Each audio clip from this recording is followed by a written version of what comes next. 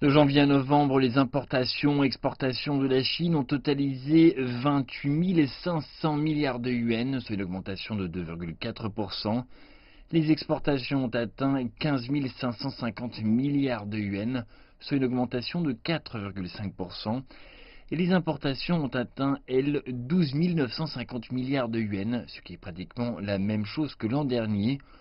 Selon les dernières statistiques de l'OMC, au cours des trois premiers trimestres, le taux de croissance des exportations chinoises a été supérieur à ceux des principales économies mondiales.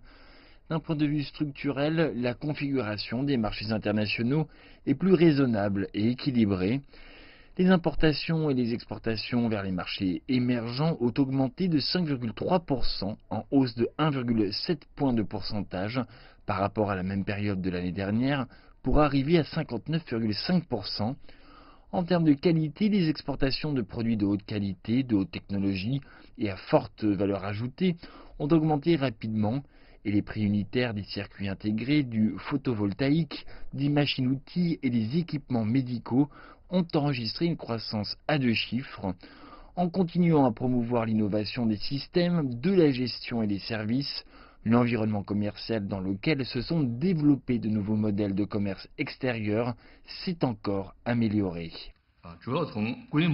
À partir de la taille, de la structure, de l'efficacité, de la compétitivité, etc., il y a eu la mise en place d'indicateurs spécifiques pertinents afin d'évaluer la dynamique du développement de la qualité du commerce de la Chine.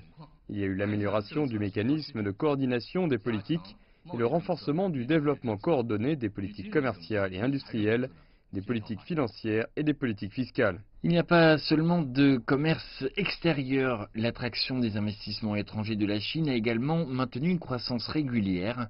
De janvier à novembre 2019, 36 747 entreprises à capitaux étrangers ont été nouvellement créées et l'utilisation réelle des capitaux étrangers a été de 845,94 milliards de yuan, soit une augmentation de 6% par rapport à la même période de l'année dernière. Le 1er janvier 2020, la loi sur l'investissement étranger sera mise en application et cela sera sans aucun doute un stabilisateur de l'attraction des investissements étrangers pour la Chine. Dans une large mesure, la promulgation de la nouvelle loi sur l'investissement étranger a donné aux investisseurs étrangers plus de confiance sur l'environnement commercial en Chine. C'est comme une garantie pour eux.